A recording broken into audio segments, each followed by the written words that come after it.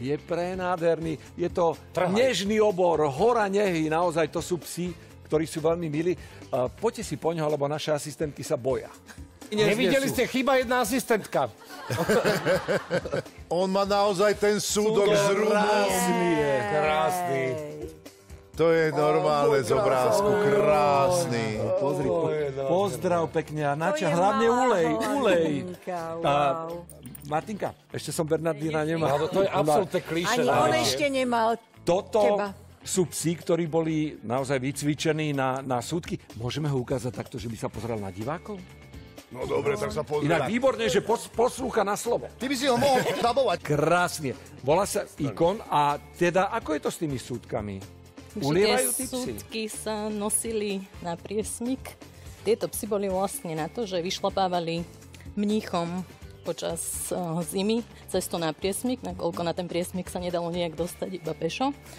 A museli to byť veľké psy, ktoré nosili súdky a kožené brašne naplnené zásobami. Mnísi tam dávali teda buď omšové víno alebo brandy.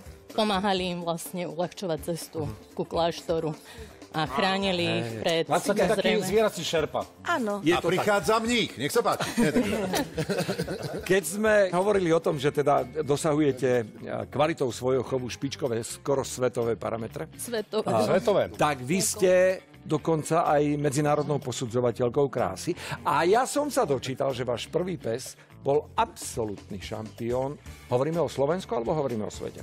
Dosiahli sme vlastne aj celosvetové úspechy, ale náš prvý pes, Felix, bol vlastne výnimočný pes, ktorý dokázal vyhrať aj medzinárodné špeciálne výstavy.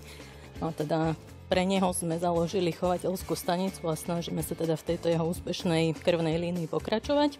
A Nie toto je jeho potomok, alebo- Áno, alebo toto je jeho pra, pra, pra syn. To vážne? To už je tak. Hej. Viete čo, Martinka, vôbec sa ne- nebránte tej emocii, my chápeme. Je, je to vidieť, že, že toho prapôvodcu vášho chovu ste naozaj mali radi z celého Áno, srdca. áno, lebo je o tom popísaného naozaj veľmi veľa. Poď, poď takto.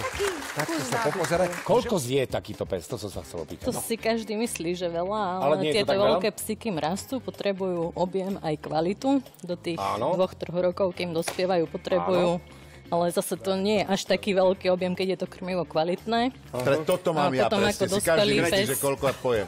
Alebo škrečok. Dospelý pes je ako dospelý človek, tiež už nepotrebuje toľko. Ako ktorý. ktorý, no. no. A ešte mi povedzte, keďže ste posudzovateľkou, tento pes patrí k tým krajším. V čom je krása toho psa, aby sme tomu rozumeli aj my? Každé plemeno má svoj štandard, ktorý vlastne schváli krajina pôvodu, odkiaľ plemeno pochádza, v tomto prípade Švajčiarsko. A my na výstavách posudzujeme teda podobnosť toho jedinca k štandardu. Počkaj, nie, nejdeme nikam, nikam nejdeme. To sa rozhodne on, Vlado.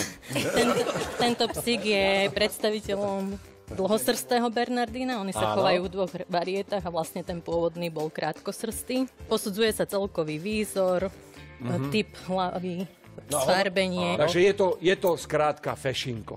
No to teda Veľký. je. To teda je krásny si. Aký je starý ešte posledný? Tento má 6 rokov. Tak vám ďakujeme veľmi pekne. Nech sa vám Martinka, darí. ďakujeme. Obom. Všetko dobré.